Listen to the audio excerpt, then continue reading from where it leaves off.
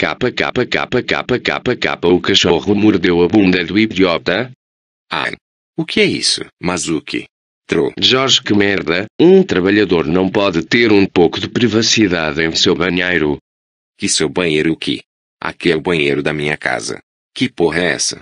Você trouxe a minha televisão pro banheiro? Eu tô há meia hora tentando descobrir quem roubou a minha televisão. Ter, Jorge, é que as pessoas só vivem me enchendo o saco, então decidi ver televisão em outro lugar. E por que não foi ver na sala?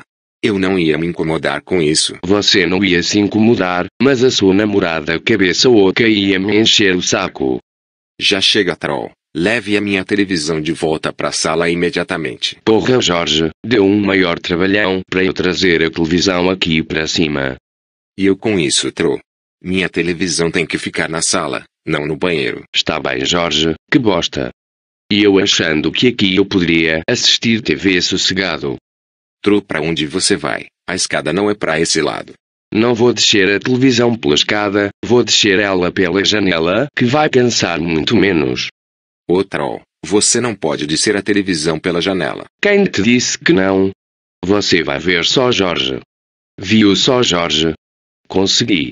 E você dizendo que eu não ia conseguir descer a TV pela janela, você se esqueceu de que eu sou o poderoso troll, não é mesmo? E você esqueceu de que estamos no segundo andar e jogar a televisão pela janela e espatifar ela todinha no chão. Até porra. É mesmo. Que se foda. Vou assistir TV na casa da Rosia. Até mais, Jorge.